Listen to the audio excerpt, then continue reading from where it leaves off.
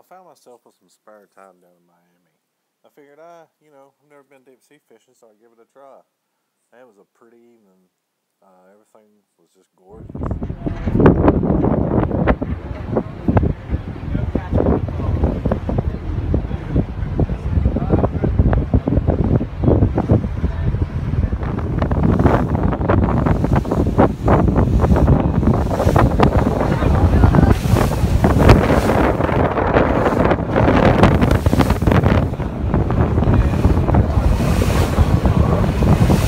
So we finally anchored out at 25 feet depth, and I started catching snapper.